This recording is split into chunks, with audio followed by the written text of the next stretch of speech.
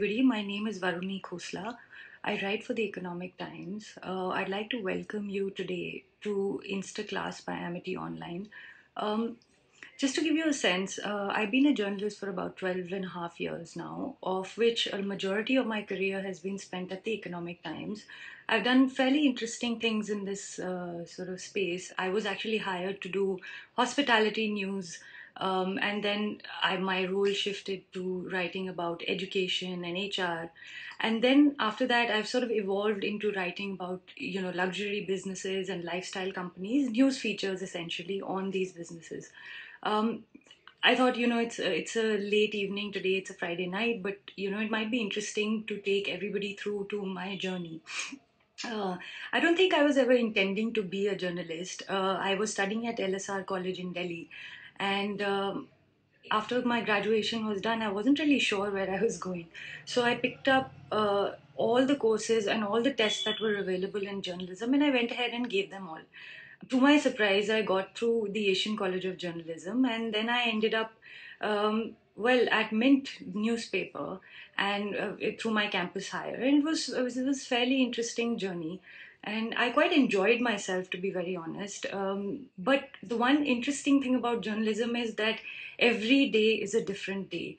You can't go into the newsroom thinking that today is going to be the best day for me, and today I'm going to do this, and this is my to-do list. The through the course of the day, the entire journey changes.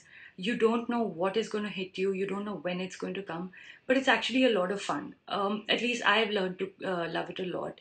Um, as far as luxury and lifestyle journalism is concerned, the biggest misconception that many young people have is the fact that there is a lot of glamour in this space. There is a lot of glamour, don't get me wrong. There are a lot of these um, evening soirees and events to attend. But the hard part of it is that not a lot of people know about is the fact that you actually have to study. I have to study a lot of balance sheets. Um, just to give you an example, without naming a particular company that I was writing on, I had to study 38 of their balance sheets in order to write a one page feature on them just last year. Um, it's a very big space in the luxury uh, business in India, um, and there's a lot to be written about. The pandemic was quite an interesting challenge, also, as far as uh, I, I, was concerned. We thought there would be nothing really to write about when it came to, uh, you know, the malls being shut or people not being able to go there.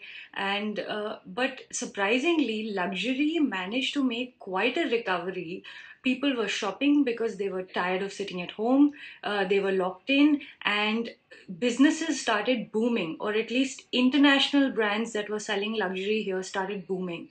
So um, it was quite a turnaround. Yes, Indian fashion designers didn't do too well, um, but as far as we were concerned, stories were just coming.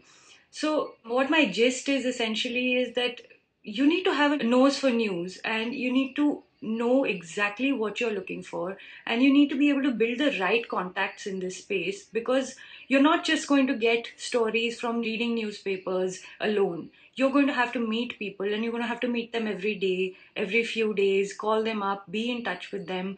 There's a lot that can be done but you need to be ha- able to have the right kind of contacts in this space.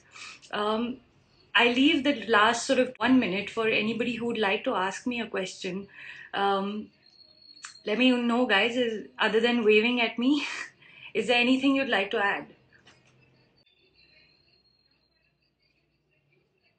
Okay, I don't think there's a lot to be said, but um, guys, please put your sort of uh, heads down, understand why you want to be a journalist. Um, get your reasons straight before you get into it.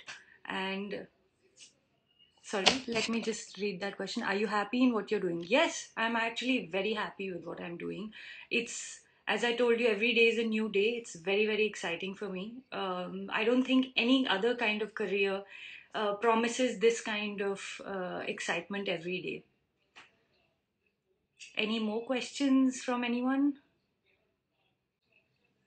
Super. Uh, thanks for today, guys. If you want to look me up, uh, give me a call, uh, find me on LinkedIn. I'm available. I'll help you. I'll help you understand, find contacts.